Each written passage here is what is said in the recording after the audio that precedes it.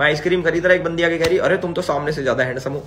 तो आप लोगों को पता होगा कि कुछ दिनों से ना कटारिया ना एलवी यादव के व्लॉग मेरा नहीं दिख रहा है और कटारिया खुद भी अपने चैनल पे व्लॉग अपलोड नहीं कर रहा है तो इसका क्या रीजन हो सकता है? तो इसके ऊपर एलवी यादव ने खुद ना कटारिया का उन्हें पूछा है कि तू अब हमारे साथ व्लॉग में क्यों नहीं आ रहा और तू खुद भी व्लॉगिंग क्यों बंद कर दिया? तो इसके ऊपर कटारिया ने क्या रिप्लाई दिया वो आप सुन सकते हो।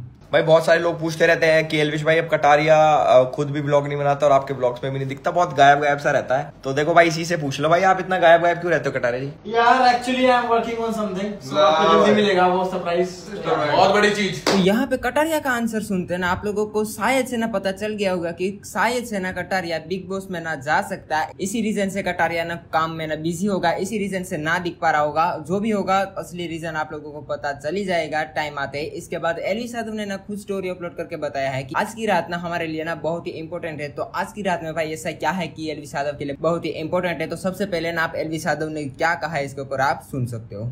आज बहुत इंपॉर्टेंट दिन है। सॉरी इंपॉर्टेंट रात है। क्योंकि दिन तो निकल गया। क्या कर रहे हैं? लक्ष्य हम रात को?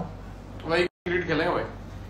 और क्या करोगे? अरे क्रिकेट थोड़ी खेल रहे हैं आज तो तो ऐसा एलविस यादव ने क्यों बोला वो मैं आप लोगों को बता देता हूँ क्योंकि मैं आप लोगों को ज़्यादा डीपली नहीं सोचने दूँगा। तो एलविस यादव ना अपने फ्रेंड के साथ ना यहाँ पे क्लब में गए थे जो कि एलविस यादव ने आज लोग में भी बताया कि, उसके किसी फ्रेंड की ना एंगेजमेंट थी। तो तो शायद से ना इसी के ऊपर ये पार्टी रखी होगी और इसके बारे में ही एलविस यादव ने 99 ना इसके ऊपर ही बोला है। इसके बाद एलविस यादव ने ऐसा बोला है कि मुझे ना और हैंडसम दिखने के लिए ना मेरे माथे पे ना दो सिंग लगवाने है। जी हाँ भाई, मैं मज़ाक नहीं कर रहा हूँ। एलविस यादव ने खुद ने बताया जो कि आप सुन सकते हो। मैं आइसक्रीम खरीद रहा एक बंदी आगे कह रही, अरे, तुम तो सामने से ज़्यादा हैंडसम हो, जो की फैक्ट है।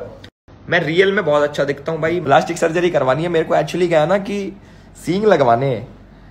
इधर दो सींग लगवाने हैं। Guys, गाइस तो फ़िलहाल के लिए तो इतना ही न्यूज़ था। अगर आप लोगों को वीडियो अच्छी लगी तो वीडियो को लाइक कर देना। चैनल पे नहीं हो तो चैनल को सब्सक्राइब कर देना। आप लोगों को हमारे चैनल पे ऐसी जी साधव की लेटेस्ट न्यूज़ मिलती रहेगी। तो मिलते हैं नेक्स्ट वीडियो में। बाय